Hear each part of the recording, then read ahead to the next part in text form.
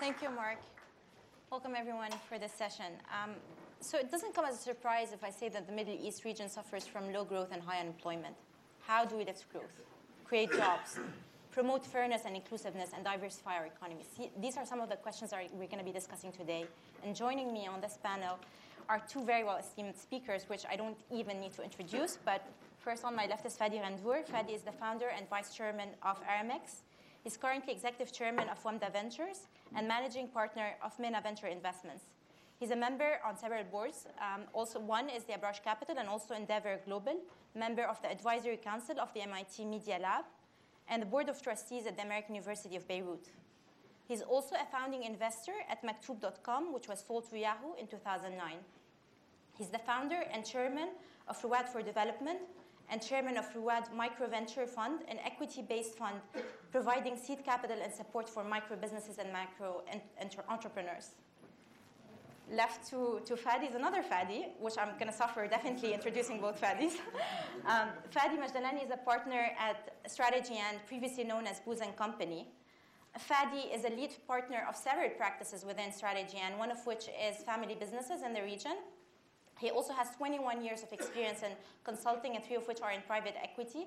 He used to sit on the board of Booz & Company, also sits on the board of Endeavor Lebanon, has an MBA from the Harvard Business School, and master's from MIT in engineering, and a bachelor from the University of Beirut, also in engineering. Welcome, both of you. Thank you. Thank you.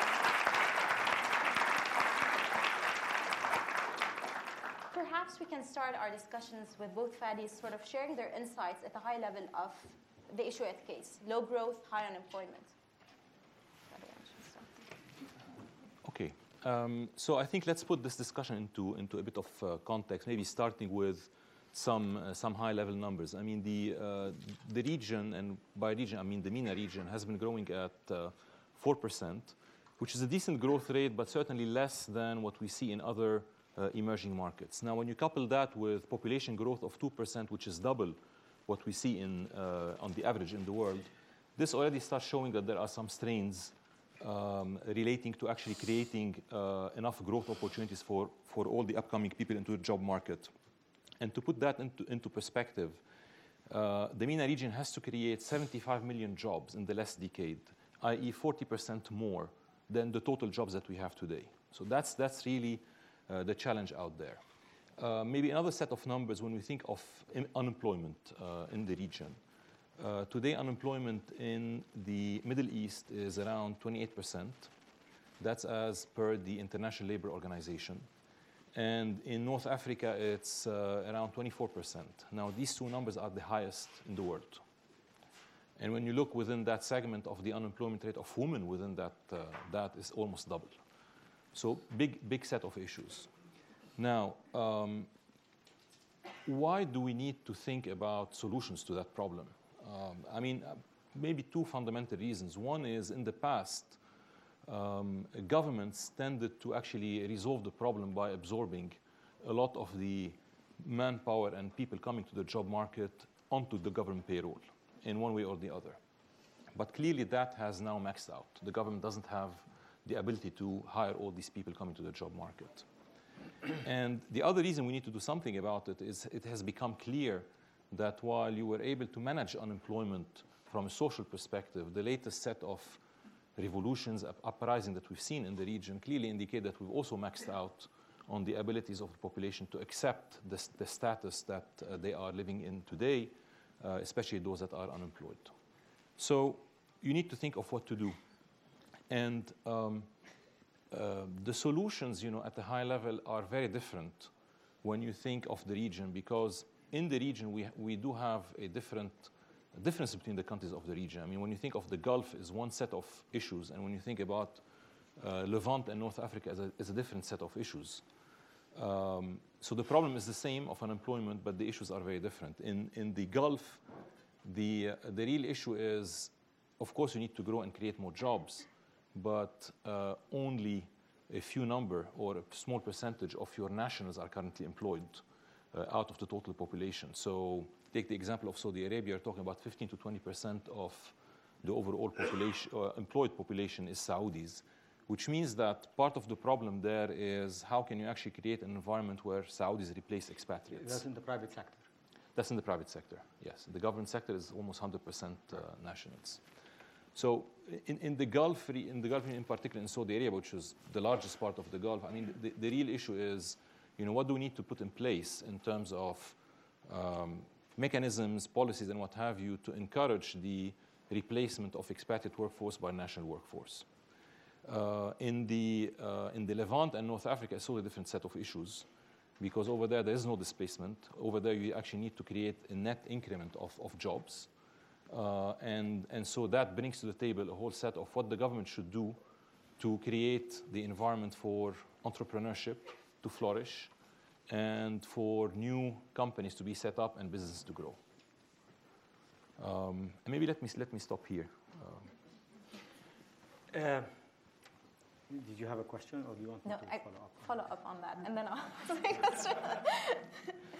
so I, I just wanted to add. Uh, I think I think what Fadi gave was, is, is, is comprehensive. Obviously, um, the key when when you want to talk about entrepreneurship, about job creation, about the advent, the massive advent of young. Uh, educated people uh, that are going to come to the job market, we need to think about uh, what is it that they're going to do? So when we talk, uh, let's talk startups, let's talk businesses. The Arab world, the biggest problem, I think, in the Arab world, other than the education system that is, is giving skills to these kids that not, don't, don't necessarily match the job market. The other problem is there are no markets. So we have a fragmented market system. Uh, so we talk about the Arab world, but the Arab world is 22 countries. Uh, uh we, uh, theoretically, it's a, it's a three and a half trillion uh, dollar, uh, four and a half trillion dollar economy on purchasing power uh, purpose calculation, bigger than India, bigger than than Russia, bigger than than than some of the BRIC BRICS countries. Yet uh, the reality of the matter is, is it's small. So the businesses that are coming out are small. They're not able to sell their products. There is no mobility. That, that's one. The other one is also mobility across markets. So you can't. You're not. You're not mobile. Uh, your, uh, entrepreneurs and companies are not mobile uh, either. The biggest challenge I see today by some of the startups that, that I work with is they're not able to set up their businesses uh, across borders. And uh, for, for limitations and restrictions that I have yet to even understand. Uh, the, the, the, the infrastructure the soft and hard infrastructure of the Arab world, some of it is, is of fantastic excellence, and some others are, are really at low level. Uh, the road system in the, in the region is uh, connecting. Connecting the cities of the region is, is not great. We have customs issues. Even though the GCC has, uh, and I was talking to some Saudis yesterday about it, the GCC has a customs harmonization agreement amongst each other, and there's a customs union, but yet try to, try to, uh, to clear a package through customs uh, from one Arab country to the other today and see what happens to it. Uh, uh uh, uh, uh, entrepreneurs that uh, want to have an ease of entry to the market and ease of exit to the market, so registration, quick, quick licensing, just takes months. So some countries will give you statistics that are not accurate. Don't believe it. It takes months to, to, to set up uh, businesses. And it's quite, uh, quite an impossibility to actually exit the markets, meaning exit, not, not selling. If you fail, you're going to go to jail maybe uh, because there is no bankruptcy law. So it's, it's uh, so these are so basic issues. I mean, we're not talking about here very sophisticated uh, issues and challenges. These are issues that many other countries have faced, they have addressed, and they have resolved. And I don't see why uh, the Arab world, which has been talking about uh, an Arab common market long before the Europeans did, since World War II actually, the Arab League, the first issue on the table of the Arab League, some of you might not know, was the Arab Common Market, long before they talked about uh, joint uh, uh, political, addressing the political issues, the biggest agenda was always back in the, in the early 50s. How do we actually create an Arab, uh, an Arab Common Market? And you know where the Arab Common Market is today. So, uh, I mean, so we need to move from talk to implementation to addressing the priorities that the Arab world has. So while the Arab League continues to meet and discuss to address political issues and they fail miserably at it, they leave the biggest challenge to the Arab world, which is not necessarily politics, but how do we empower and how do we bring our kids from, from, uh, from aspirations of studying, for people like we see here, and, and I've met several fantastic people here, how do we actually get them to feel that they are going to come and become productive in the job markets in the region? I mean, that's, that's the main challenge. So growth is there, but we need to grow with, with, with the youth. Again, the 75 million, 100 million, dollar, million jobs that are required in the, in the next 10 years is at the current, if, if you assume that the current unemployment rate remains the same as it is today. So this is an extra to the endemic uh, unemployment rate that we have today.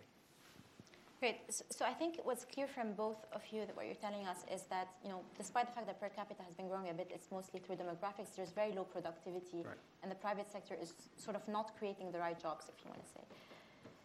If we and you know clearly from what Fadi is, sorry, sorry, it's hard to say which Fadi. um, so Fadi has Fadi G. Fadi G and Fadi I mean, Fadi M has highlighted that pretty much it's the private sector now that can only have some sort of leeway for creating these jobs. But what's also evident from Fadi G is that um, you know you need to create some sort of an inclusive growth. And we looked at some of the numbers, which is you know women's labor force participation is at 22 percent. Right. How do you create with the private sector an inclusive growth, whether through family businesses or through entrepreneurship? It's a, it's a big question. I mean, how do we include inclusive growth when, and so I have to be very sensitive because uh, business and politics in the Arab world mix uh, uh, unreasonably. Uh, so, but I'll, I'll talk, and uh, you're all smart people. We're at Harvard, so you will get what I'm trying to say. Uh, when there are uh, restrictive laws and restrictive cultural norms that do not allow women to participate in the labor force, it's very, there is very little that the private sector can do, in one sense. Uh, even though there is, well, women are 50%, 50% uh, of women in, in colleges, 50% uh, of our graduates, if not higher than 50% of the graduates of the Arab world, are women. While their participation is what you said, 18% across the region, and it varies. It varies even in liberal countries. So my country, I can, I can talk a bit freely about that. In Jordan, it's the same. So we, it's, it's, uh, there is not necessarily a cultural or a legal barrier for women to participate, but Jordan is also at 18%, which I think is, is, is, is ridiculous and needs to be studied very carefully so that we understand why is there such a massive lag and this affects productivity, it affects, it affects growth of the economy. There is a, a massive section that is not participating in the economy. So we need one to, if there are laws and if there are cultural issues, then it needs to be embedded in the education system, not in, in, in terms of, of the, the, the education of the students, but education of the families and education and, and purposefully work at changing the cultural barriers towards the participation in the labor force and address them honestly. I mean, there is a shyness about addressing the challenges of participation of women. In the, we, we are afraid. There is something. Why should we be afraid of it? If it's religious, then let's address the religious issue. Where in Islam does it say women should not be participating in the labor force? If somebody can, can show it to me, uh, uh, uh, let's discuss it at least. Women in the very early days of Islam, imagine that 15, 1600 years ago, were, were much more active in, in, in Iran. They have a high uh, active workforce, uh, uh, women uh, workforce. So we need to address these challenges and we need to be honest about them and we need to talk uh, and find solutions for those. Uh, and this needs a.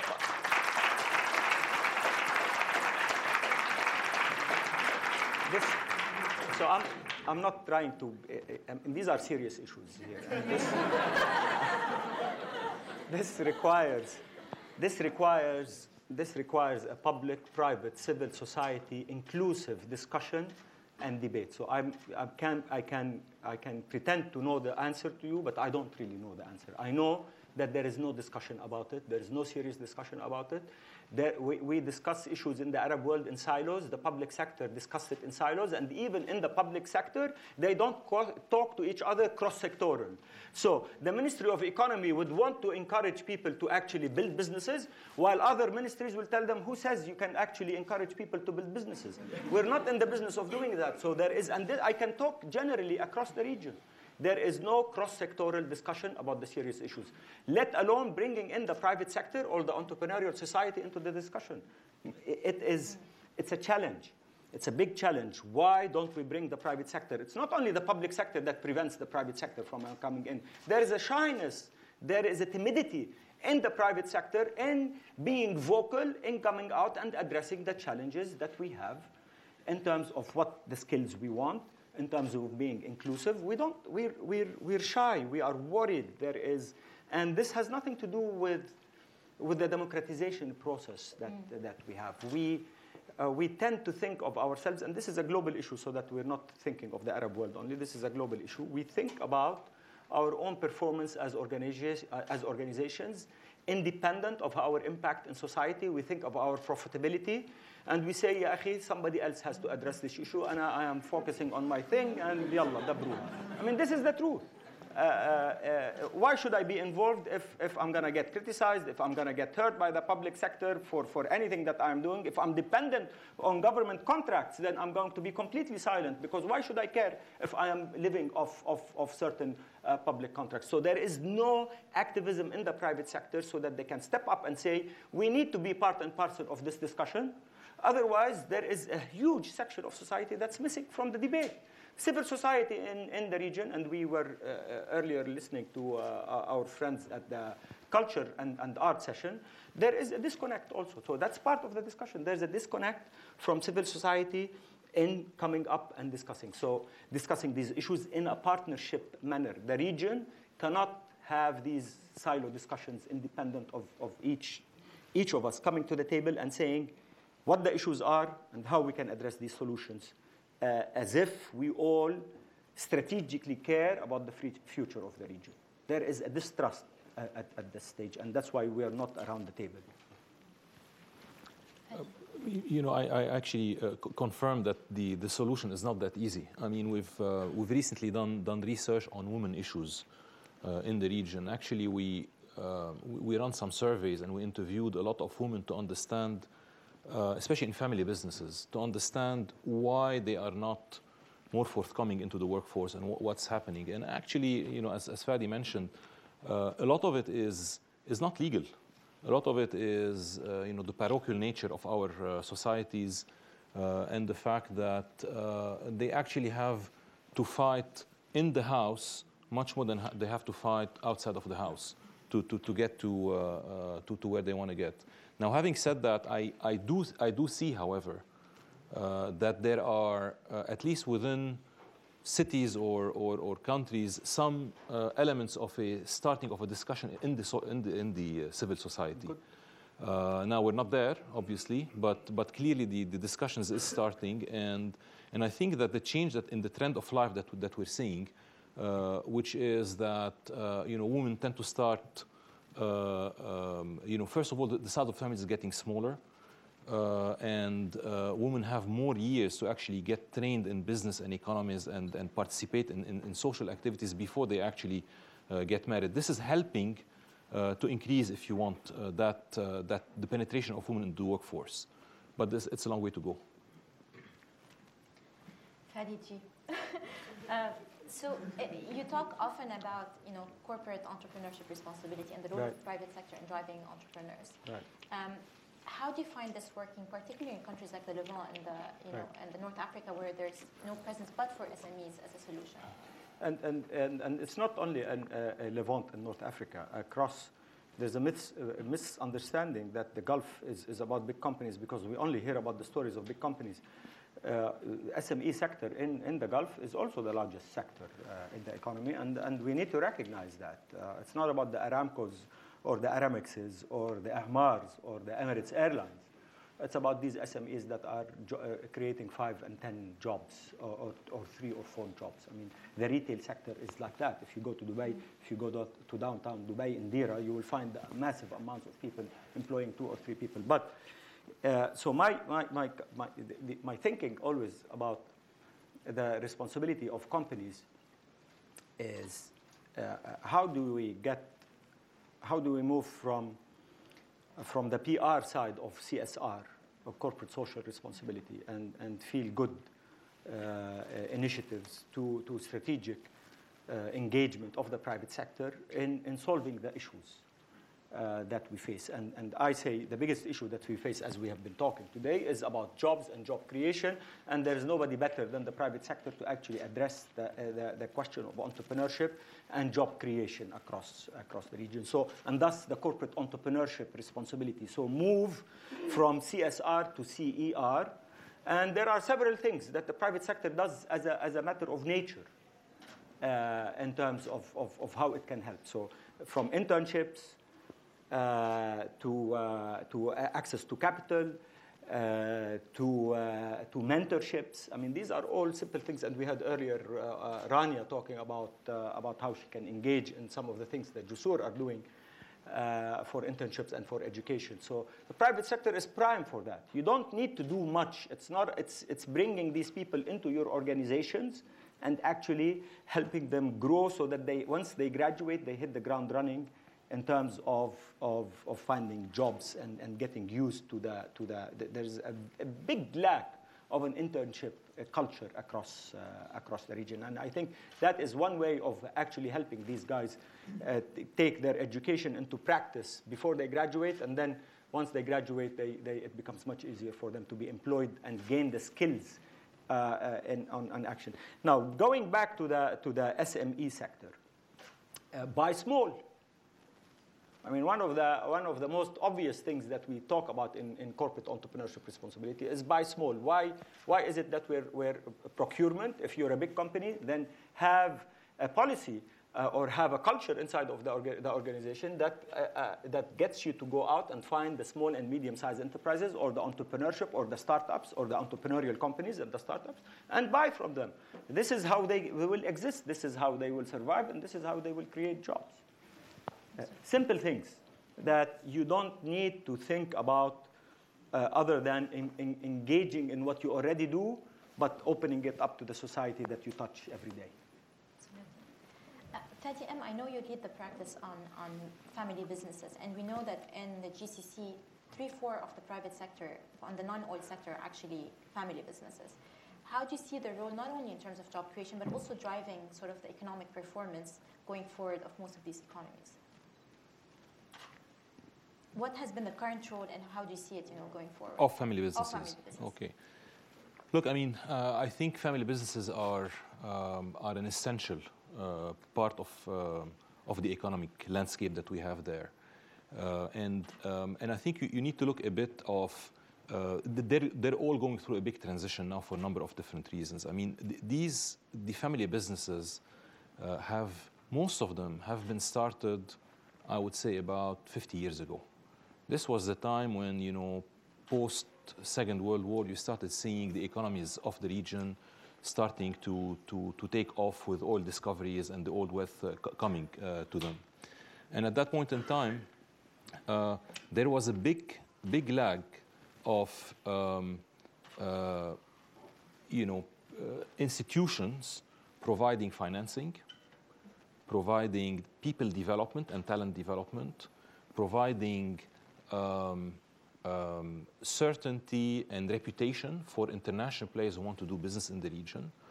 Uh, and providing access to, to, to, to, capital through banks, which were looking at back then into reputation lending because you did not have the rating and the scoring systems. Yeah, so all of that created an environment where actually family businesses uh, were, were ripe to take advantage of it. And the entrepreneurs among them did extremely well. Those that went in and became the trusted advisor of international players, the uh, got the money from the bank, acted as the venture capitalist, and acted as a private equity player, and started growing all these, uh, these conglomerates. Now, fast forward uh, today, what's, uh, what's, happening, what hap- what's happening now is a number of things which, um, which are going to lead to these family businesses uh, needing to actually um, kind of self reinvent themselves. Okay? So, what's happening? On, on one side, um, 50 years into it, you are now passing from the second to the third generation in these families. And you know, uh, you know, just maybe a small statistic here: 11% of family businesses survive the third generation. Okay, so the odds are against them unless they actually re- reinvent themselves. This is in the region or global? Global. global. Um, and um, so that, that's kind of the odds of the family succession, if you want. But beyond that, what's happening is the markets have become much more open. You have much more transparency than you had before. Uh, you have a talent market out there that is much more developed.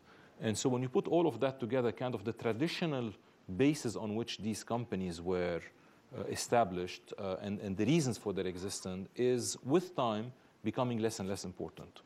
Now, are they going to disappear? Certainly not. I mean, they still have a huge role to play. They are very much implanted. They have, they own the networks of these of these countries. But clearly, they need to really reinvent themselves. They need to um, uh, to to basically uh, think of uh, not only that they are the natural uh, recipient of all the goodnesses of the economies over there, but they need to start fighting for it because there's much more competition.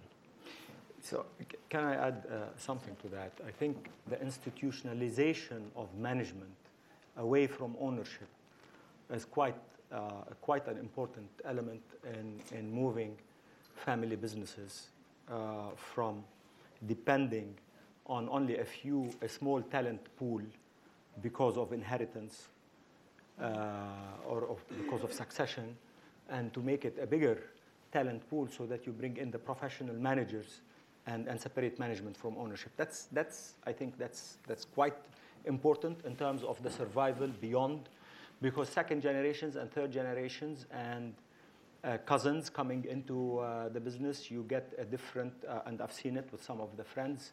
We've seen some major companies in the Gulf that have disintegrated. Uh, even in, in, in Lebanon, there's a big, uh, there's a big uh, company in Lebanon that does not exist anymore because of, uh, of different, it has nothing to do with anything. It has to do with, uh, with a generation that came to inheritance or to succession that did not feel that the continuation of the vision and mission and, and the purpose of that company made, uh, made any more sense and wanted to cash out and then thus fights. So if there is going to be a continuation and the founder or the founding uh, members want to keep the company as is, then they, they, you need to create that separation and, and that governance process that makes sure that the, the, the successive generations do not have the power to actually act uh, in a manner that is destroying for value rather than building value of the same organization. And maybe let me build on that. And, and the way this, this kind of links to the entrepreneurship and uh, active discussion and the role of family businesses to spur entrepreneurial uh, opportunities. Um, and again, this is more on the GCC uh, side of things. Uh, the rate of growth of the family, so the number of family members and the growth of the families, is actually faster than the rate of growth of the companies. Okay? Which means, which means that on average, the wealth per person is going down. And, and the, the families realize that, okay? And, and for them, if the objective is that they want to maintain um, uh, the same kind of lifestyle for the next set of generations, they absolutely need to develop the next set of entrepreneurs in their families and support them to actually get out of the family business and start businesses in parallel to actually grow the wealth of the, of the families. Mm-hmm. Um, so I'm going to turn actually to the questions from the audience. One that is coming up with the high scores. How do you encourage young and successful Arabs around the world to return to their countries and help rebuild and improve rather than simply sending money to their families and playing it safe?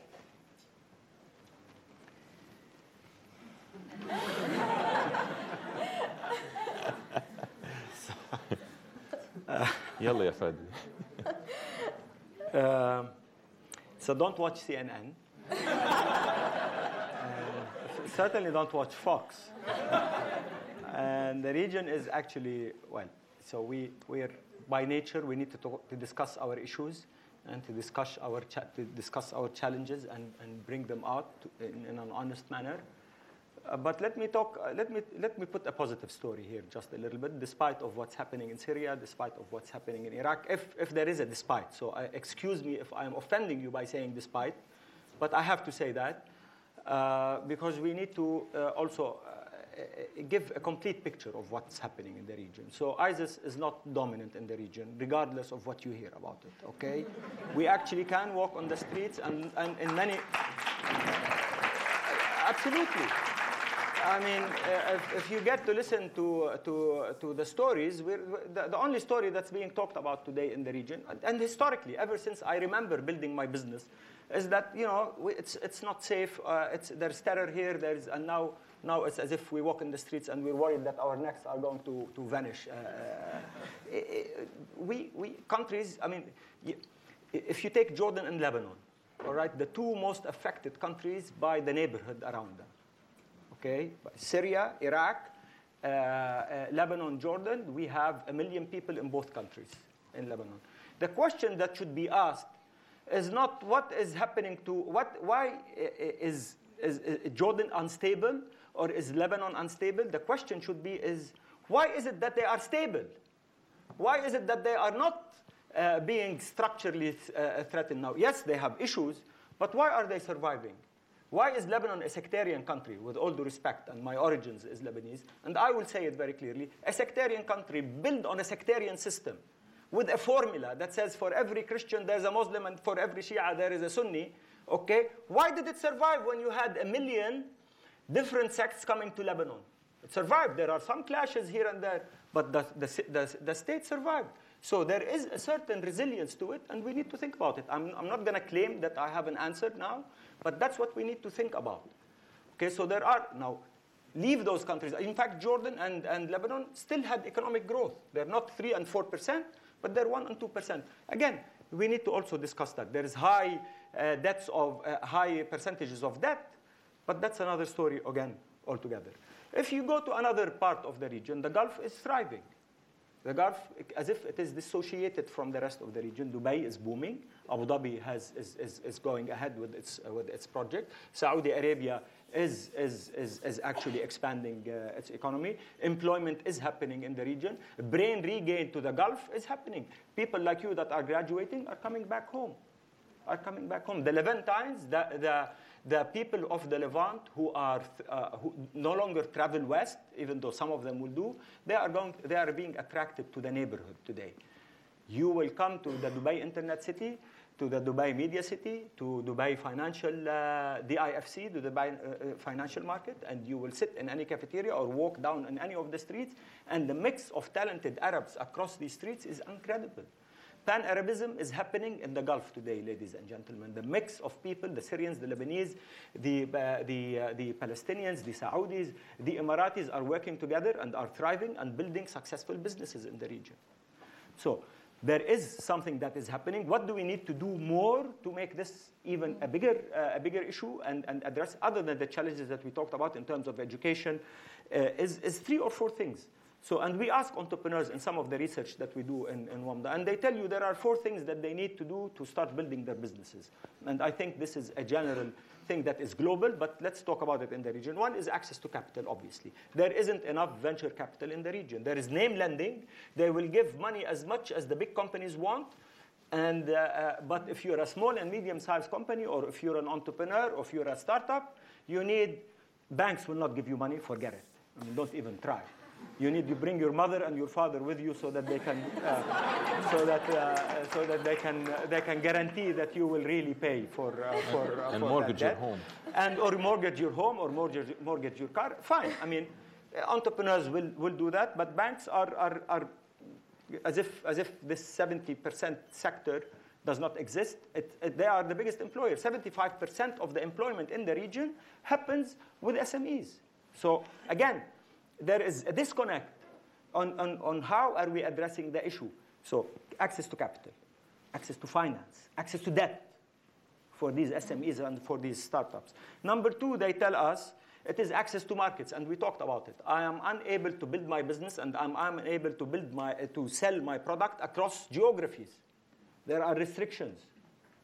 Number three, they tell you they need, uh, they, they, they, they have a basic skill problem in how to actually market their products. It's a skill. It's a skill issue. They say, I'm building my business, but I don't know how to sell my first, my first. I need to know how to actually attract clients. skill. This is a private sector. Mentorship can help them in, in doing that. St- skills in, uh, in, in schools can help them uh, can help them do that. Basic stuff. And, and every entrepreneur, we, uh, 70% of entrepreneurs we asked uh, said if we had, a, uh, ev- sorry, 70% of companies that had mentors told us uh, had a much easier way uh, and had access to capital much in, much, in a much easier way than people that did not have mentors. So again, private sector engagement and uh, entrepreneurial uh, society. So what I'm saying to people like you that are studying in such incredible institutions in the West, there are things happening uh, back there. There is plenty of employment. There are 150,000 Saudis, I am told, on scholarship uh, by the government in the West, if not in the US. The, that, uh, the, the job market requires you. The, uh, the mismatch that we talk about is a mismatch that is domestic. It's what the domestic education system is producing. But you, when you guys go back, you are going to be even way ahead from the expatriates that are, going, that are being employed in your country. Nothing against expatriates, I am one of them. But you need to go back and, and actually take, claim your jobs, claim your home markets. Uh, don't be afraid of it. I mean, there are opportunities. Again, don't fall into the trap of, uh, of, of, uh, uh of being too comfortable in, in, in, in, in, countries that are too far away from your homeland. So uh, you are needed to go back and actually, and actually do. And there are institutions, there are organizations that will allow you to do that. So there is, it's a must. I mean, it, it, it, I will go as far as saying it, also, it all depends on you, actually, in coming back and doing and changing what, what, what, uh, what the region requires. And, and, and I think, you know, uh, on, on, that point, um, uh, if I were to think about, you know, one element that, that should excite everybody here, I think the impact that each one of you here can actually have back in the region and the impact you can have on the societies over there is much, much more than a similar job would allow you to get uh, in, in, in, you know, in, in, the West. Because you know, uh, we are starting from a much lower uh, point, and uh, the kind of things that we do there and the impact that they have on, uh, on societies and on the industries that you work in uh, is, you know, we restructure industries over there. Here we structure companies.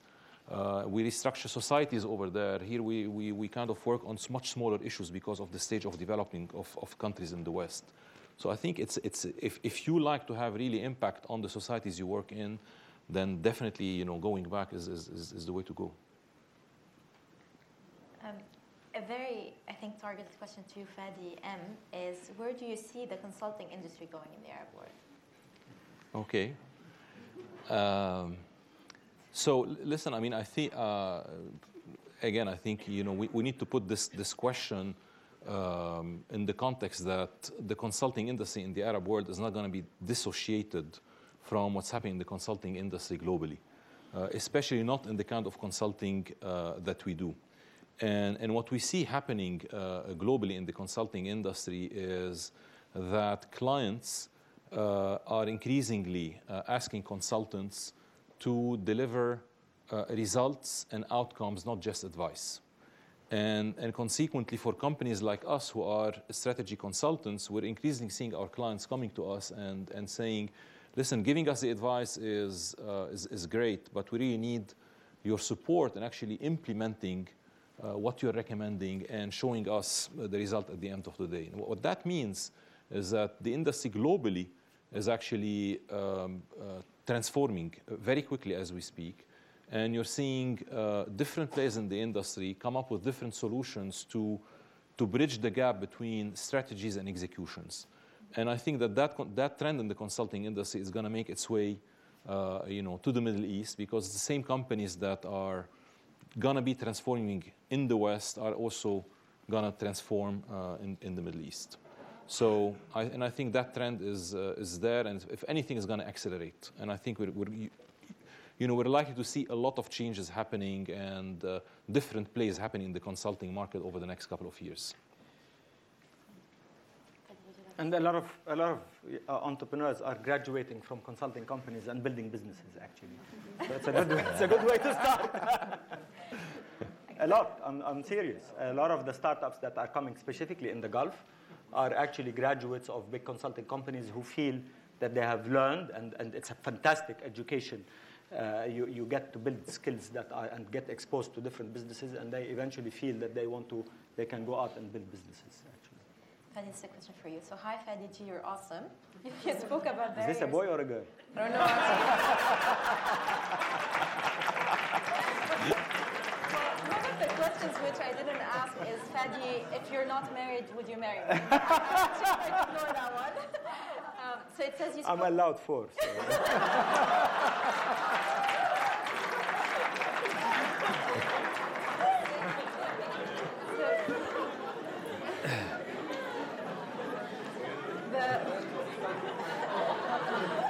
that has nothing to do with entrepreneurship. So the question asked, you spoke about barriers to success in the region, region for entrepreneurs. What are patterns you've encountered in successful companies? So um, I, you have to repeat the question. You spoke about barriers to success in region for entrepreneurs. What are patterns you've encountered in successful companies? Uh, so successful companies are stubborn ones that think the barriers that I talked about are, are not relevant and they, they walk through walls. Meaning, meaning, so I'm, I'm serious. So they, they, these are people that say, okay, we're gonna jump, we're gonna build our business, and we're gonna work along the way in, in, in conquering these hurdles. And there are plenty of those people that have gone out and, uh, and done it. So even though we talk about uh, government regulations, yes, there are people that will go out either lobby government or find loopholes in the system, and we, are, we have plenty of loopholes in the, in the system. So don't shy away. If, if, the, the, if, if the barriers are too high, there are many people that have actually gone out and, and, and done them. So stubborn, thinking long run, thinking building a business, no hit and run, uh, staying uh, the course. Uh, I mean, these are, uh, these are people that are, we have uh, May Habib here, which we are going to hear about later, is, is, a, is, a, is a woman entrepreneur that has built, uh, is building uh, Qordoba, which is a fantastic uh, crowd sourcing, and she's coming up with product. I, I, you will explain later what you do. But uh, uh, May is, is from Tripoli in Lebanon, right? And she, she, is, she was a banker in the Gulf and uh, became an entrepreneur and is building a fantastic company. And she found many hurdles. One of them is me. And, uh, and she went out and actually built a business and found different ways to, to make sure that she survives. She continued to raise money.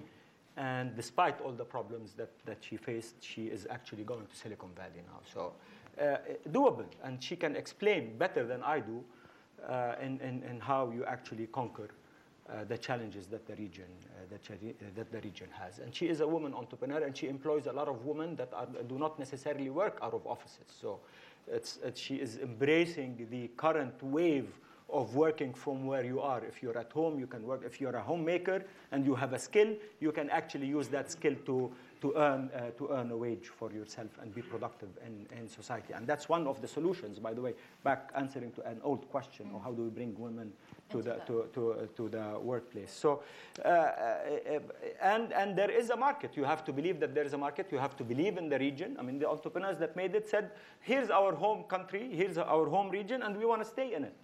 And we want to build in it. And we, we will ignore the risks that are, are out there. We will ignore the security issues that people talk about. And we will continue to build the businesses. And the people that stayed actually are the people that success, are successful in the region. Nothing against the people that say, okay, we're tired and we want to go west and we want to succeed. And many Arabs that have immigrated have, have done brilliantly in, in Silicon Valley and in, in the West. Uh, but again, we're talking about the Arab world and how we can make it happen over there. It's, it's doable. The, you, the, these hurdles are conquerable. I think I'm going to end with the last question, and that's for both of you. Um, what are the legal stepping stones an entrepreneur faces in the MENA ecosystem? What are reforms needed to build a strong legal system for entrepreneurs? You, you give me tough ones, huh? Look, I mean, uh, the, the um, in, in principle, on, on the legal side, I mean, the, the issue is really not about legal um, uh, constraints into, into startups. Uh, I mean, of course, you know, it's not as easy to start companies and all of that, but I think, you know, we've learned how to get, get around that and start companies. I think the, the real issue is, uh, is really that, um, as Fadi mentioned earlier, you're working in a very fragmented uh, environment, and your markets are very fragmented. And when you start a company in one jurisdiction, uh, uh, scaling it up across the region into multiple jurisdiction is what starts causing all the legal hassles and, and, and, and the legalities that, that you get into.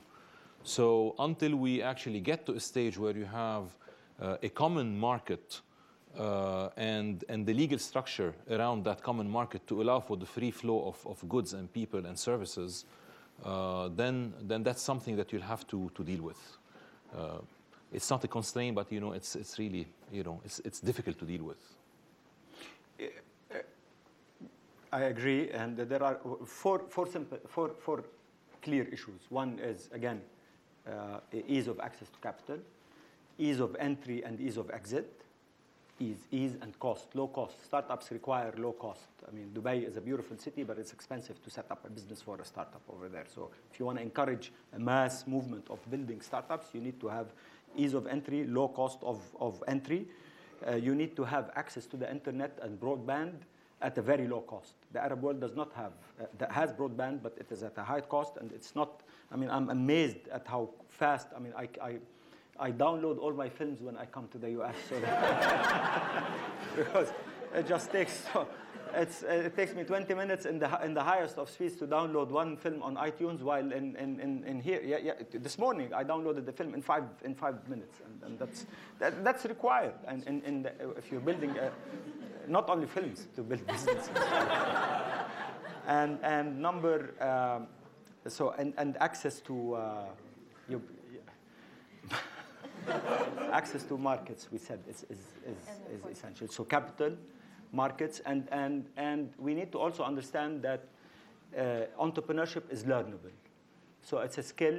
Uh, uh, the entrepreneurial mind is a mind that, is, that learns critical thinking, that learns problem solving, uh, that learns uh, uh, various, uh, various uh, uh, technical skills.